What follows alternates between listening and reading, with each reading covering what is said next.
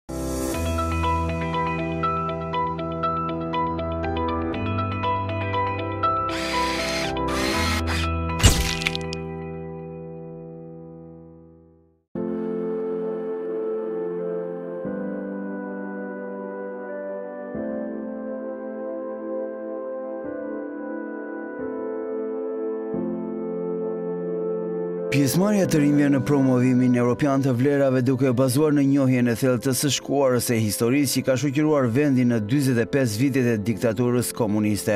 Një projekt ambicioz i frymëzuar dhe shtyrë nga shumë aktorë, njëri më shumë se të gjithë, Vilano Qiriazi, ish-përkthyes i frëngjishtes në seksionin e jashtëm të Radio Tiranës gjatë viteve një mijë e nëntëqind e tetëdhjetë e nëntë, një mijë e nëntëqind e nëntëdhjetë e katër, Rruga ka qenë e gjatë për profesorin shqiptar, që sot me shumë dëshirë e vullnet, i jep një mbështetje të madhe projektit për ndërtimin e një platforme dixhitale, ku do të pasqyrohen mizoritë e sigurimit të shtetit. dhe ku nxënësit e mësuesit të arsimit parashkollor do të kenë akses të plotë për të marrë informacionin më të detajuar për ngjarjet konkrete që kanë shenjuar terrorin dyzet e pesë vjeçar nën regjimin komunist. Kemi krijuar një bashkëpunim shumë interesant me Autoritetin e Dosjeve, i cili do të zhvillojë dhe një platformë digjitale me materiale pedagogjike për mësimin e historisë në shkollat fillore, në shkollat tetëvjeçare, po edhe në sistemin e shkollave të mesme në Shqipëri.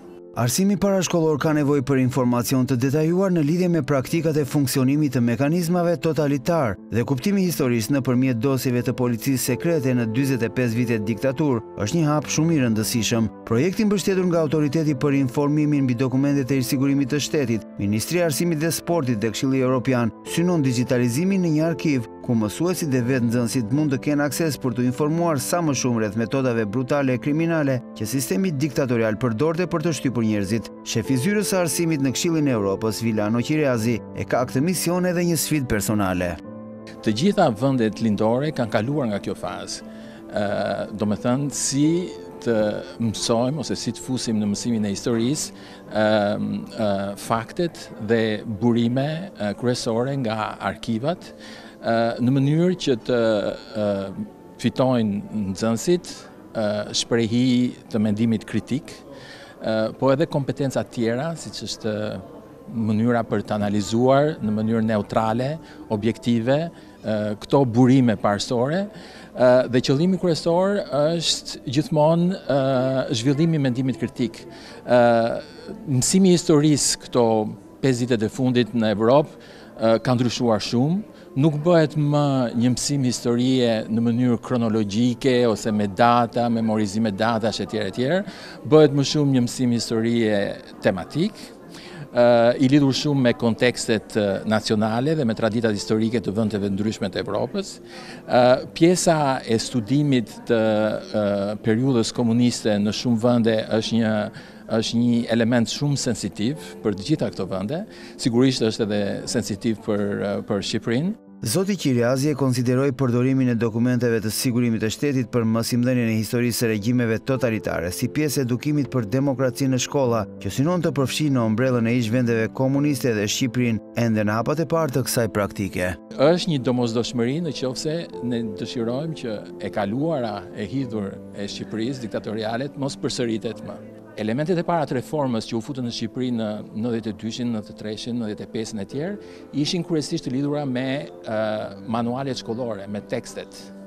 Sepse tekstet, si edhe në vëndet tjera ish komuniste, ishin të politizuara dhe të ideologizuara. Fatkeqësisht akoma ne vazhdojmë, mësusit vazhdojnë që të përdorin tekstet shkollore, të përdorin tekstet shkollore si burime kryesore të, të mësimit, Sigurimi i shtetit ka përndjekur dhe persekutuar mijëra shqiptarë në më shumë se katër dekada dhe në këndvështrimin e europianëve, sa më të mëdha të jenë njohuritë e dijet e të rinjve me këtë epokë, aq më e fortë do të jetë edhe demokracia në të ardhmen, pasi në themelin e saj qëndron pikërisht liria dhe të drejtat e njeriut.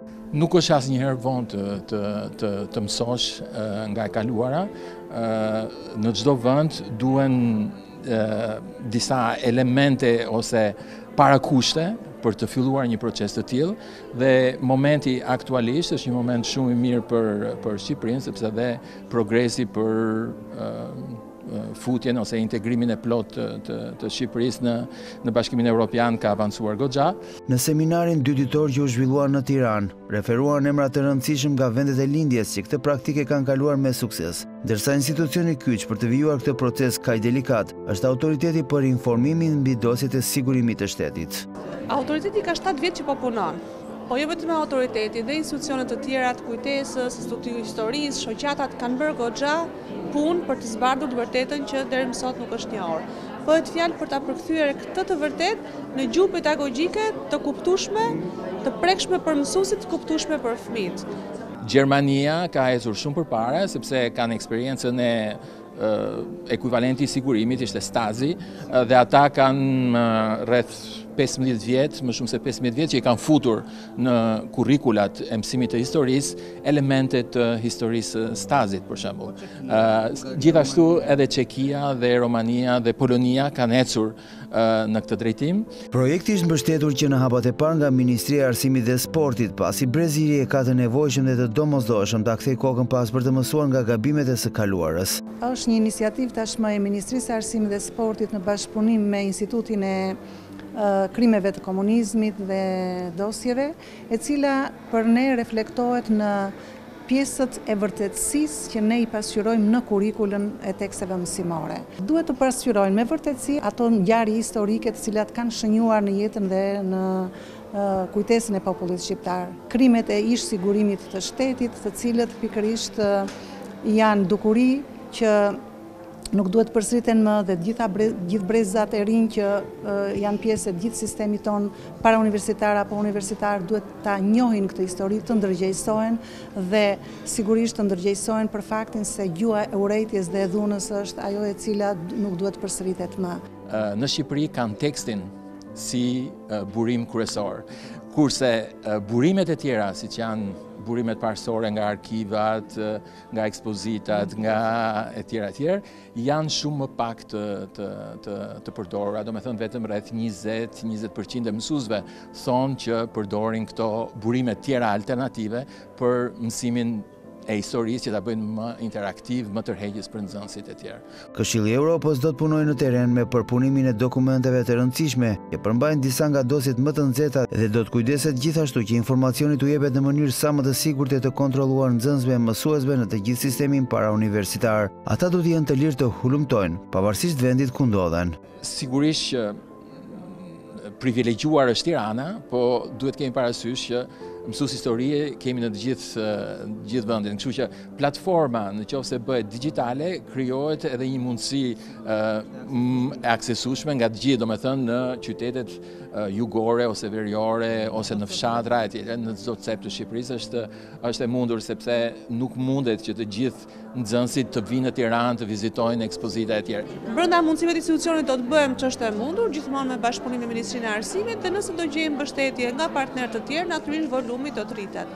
Po gjëja e parë që është do të jetë platforma dixhitale, online, Mësojmë nga e shkuara, që kjo do konsistojë në një faqe, një një motor kërkimi të themi, ku mësuesit e historisë, të gjuhë-letërsisë, të edukatës qytetare, nxënësit, prindit, Do kenë mundësi të njihen me burime autentike të dorës së parë ose dëshmi ose bibliografi ose gjithmonë burime të verifikuara nga komisione të përbashkëta, të cilat pastaj do t'i japin do t'i japin atyre mundësi për të bërë mendim kritik, për të bërë projekte, për të qenë në terren.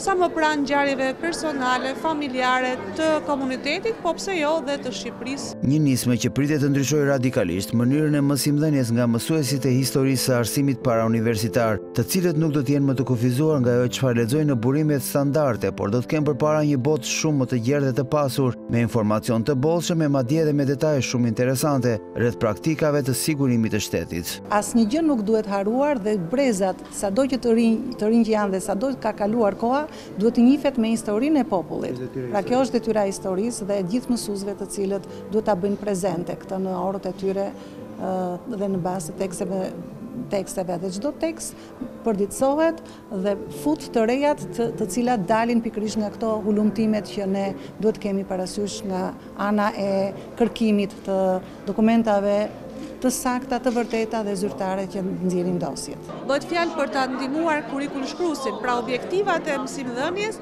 të jenë sa më konkrete, të mos jenë gjëra të përgjithshme, po të shkojë aty ku dhemb plaga që ne e kemi temë tonën.